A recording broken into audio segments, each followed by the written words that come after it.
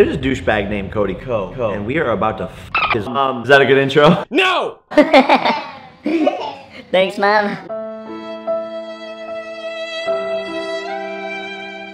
Nah, I'm just kidding. I hate you, mom. I'm kind of like, you know, shit. That's that's that's that's that's that's it. Today, I fucked Keemstar for the first time. He was bullied. Being a little tech developer. I'm about to confront like one of my biggest hits, Cody Ko. Ko. And now he just shit. My brother Jeff. Let's take a look here. Cody Ko. Ko. Pretty good videos. So now I think it's time to maybe throw some shade at his brother.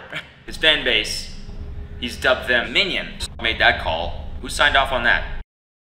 Honestly, I honestly, I, I, I honestly, I, I, I, I, I, I, like, I think, honestly, I, honestly, I, I like, I think, I, he, honestly, he's terrible. Like, these videos are terrible. Like, I don't, I don't even want to watch him.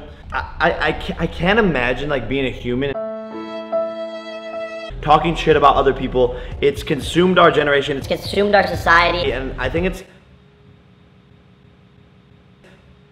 largely in part to do do the reason I hate Cody Ko Ko is because he fucked my mom and my brother Jeff Cody Ko Ko Fuck people in their souls. Do do do.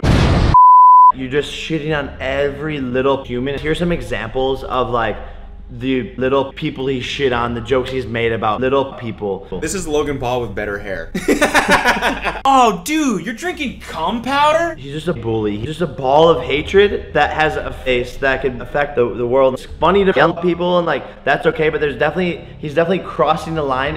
Oh, the, the what the f is that? Uh, What's that backpack? Like who is that girl? And I challenge you guys to like shit him. Cody Co, Ko computer like how how like, there's no point. Fuck you. Okay, so Jeff just texted me and said, my brother Jeff, this a closet uh, that's fair. So I'm not cool with that. What gives him the right to do that? Yeah.